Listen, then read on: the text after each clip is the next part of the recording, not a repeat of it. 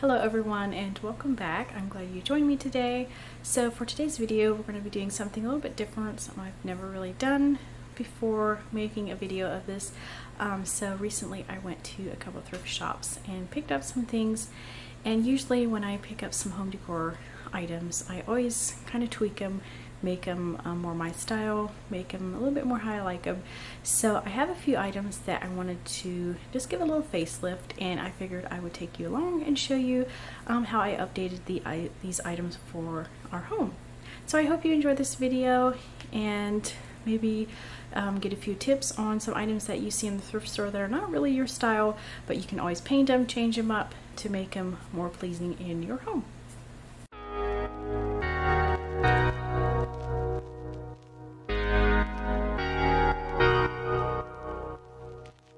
Alright, so this is the first piece that I found. Just a nice clear um, glass container, like a vase, I guess. Yeah, anyways.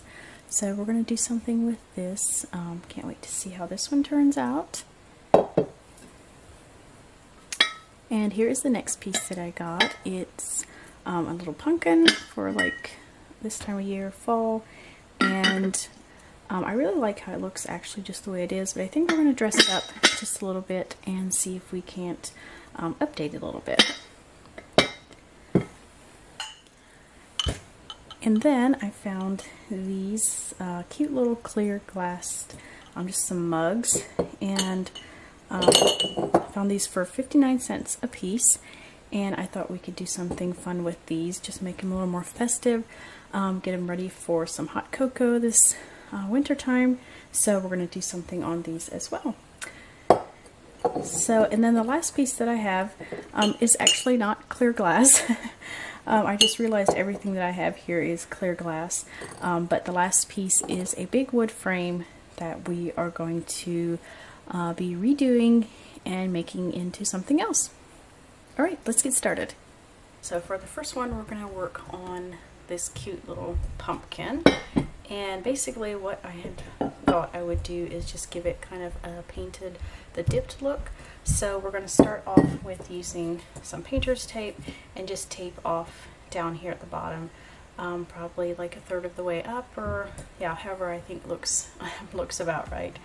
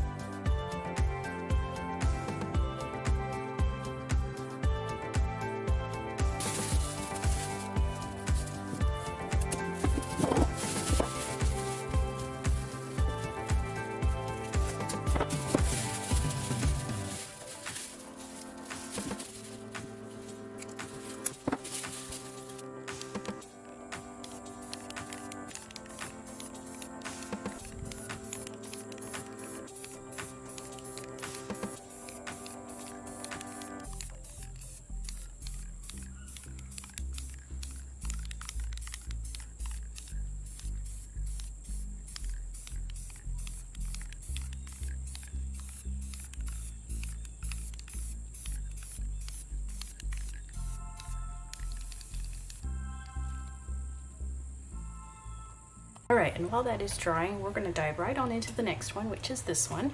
And what I had in mind for this is, again, we're gonna paint it, but I want it uh, more of a stone finish. And I'm gonna try it using these two right here. Um, this is the color that I want it to be when it's done. And then this one here is the stone one, and this is basically just for the texture. Um, so we're gonna get our texture with this and then finish it off with this color here. So let's go do this one as well.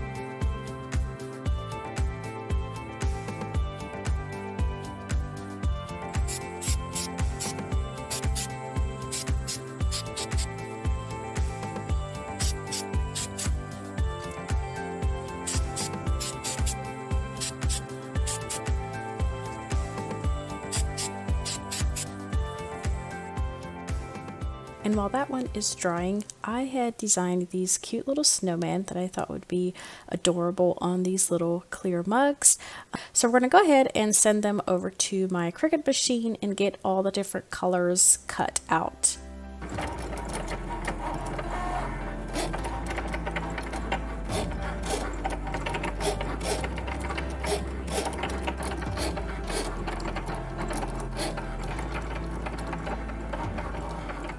Alright, so now I have all my pieces cut for my little snowman. Um, probably can't tell them. And I did some extra of the little buttons in the eyes because they're so small and I'm going to lose a few. So we are going to just cut around um, the vinyl that we used and then start weeding everything. I did also end up cutting out some little snowflakes in like a metallic silver that I put on around the cups and I didn't have any permanent vinyl in that silver.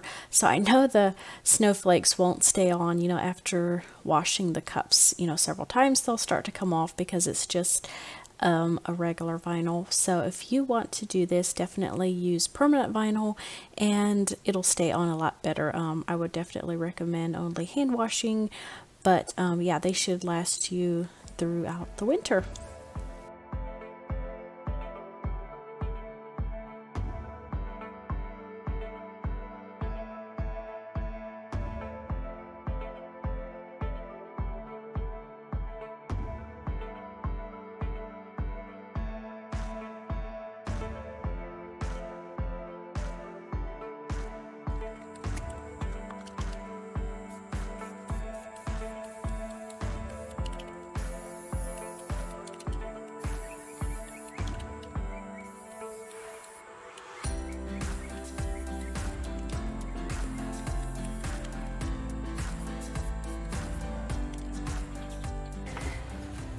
Alright, so next we are going to just cut out one of these little snowmen and I'm actually going to cut the little um, twig off of the original snowman because I have a different one that's a little bit bigger and I like the look of it a little bit better. So we're just going to take that one off and then we're going to get our cup in. And being this is just one big sticker, we are just going to put it on and just kind of placing it where we think we want it.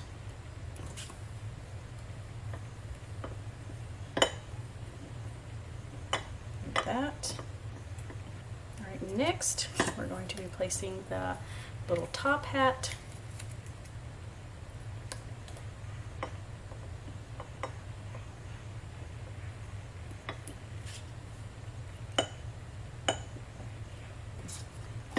the little arms.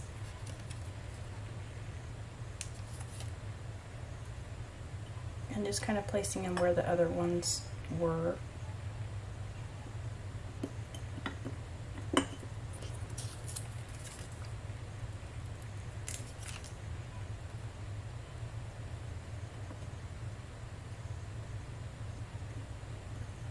All right, so we got that. Now why don't we go ahead and place the little scarf and just kind of placing it um, wherever it makes sense to us here. Something like that. This may be a little bit of a challenge here, but we're going to try our best. Um, if nothing else, you could just use like a Sharpie marker or something maybe to add in the eyes and the mouth, especially the mouth. Um, see, I'm not sure if I'm going to be able to get that on there with the little stickers or if they'll even stay for that matter once once you get them on.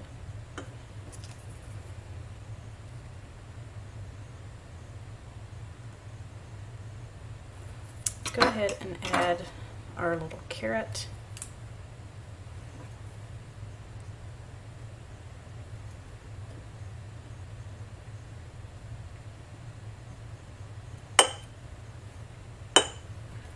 Think actually I'm going to go ahead and just use a Sharpie for um, the mouth. I actually think it looks really cute this way. Um, let's see if we can do the buttons at least.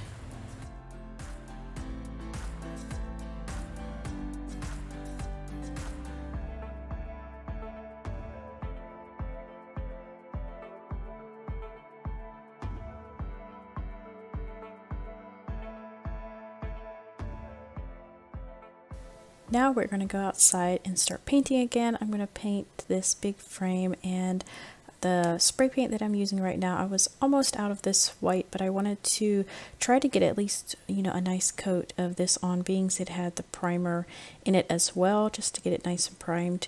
And so I, yeah, finished up two bottles that were almost empty to um, get it mostly covered. And then um, I did end up going over it with my uh, trim paint. If you remember when I redid my front porch, the door, I had painted um, the trim in a marshmallow color. If you haven't seen that video, I'll try to link in the description for you to go back and watch that. But this is the color that I had used for the trim. It's in the sample paint that I had gotten to try out for the front door.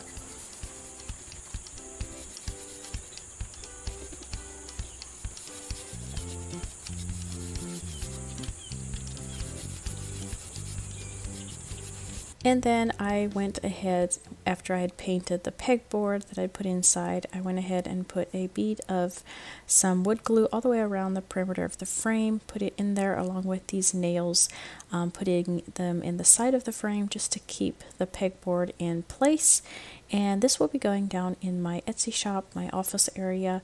Um, it's I've been wanting a pegboard down there for a while just to kind of organize some things, um, so I think this will work great. And now I am just measuring where I want the sawtooth hangers. I wanted them to be in the stud of my wall for sure. So I did some math and I figured out where I need the sawtooth hangers on this frame um, to make it center in the wall, but still I can put the screws in the studs and it'll be very secure. So the hangers are not going to be in the center, you know, centered out on the frame at all. But once I go to hang it up on the wall, it'll be nice and centered and straight. And then I went ahead and measured from the bottom of the frame up to the sawtooth hanger um, so that way I know exactly what my measurement needs to be up on the wall in the Etsy shop. So now I can take that measurement and I want to add about 4 inches to that measurement because um, I want it up off the craft table a little bit. So I'm going to add 4 inches onto that measurement and then that is where my screw needs to go. And then I had previously, of course, found the studs, so I know exactly where I need to put my screws. And then we're going to do the exact same thing on the other side. And then all that's left to do is just to hang this up and hope we have all the right measurements and everything hangs straight. Um, it turned out pretty good in the end. And yeah, I think I will use this thing just to organize some of my Cricut tools and just yeah, craft tools and things like that. I think it'll come in handy and it's pretty big, so it'll work out fine. And I'm not exactly sure on this color on the inside. I did a different color for the pegboard. Not sure that I like it. I'm going to leave it for a little bit. Um, I may just come back and paint it all white. That way um, everything just kind of blends together. We'll see. For now, it's good, and I'm going to go ahead and just hang up this, this iron piece that I had on top before. I'm just going to hang it on top just to give it a little more height. And now here is how all my thrift flips turned out. Let me know what you think in the comments below. I would love to know.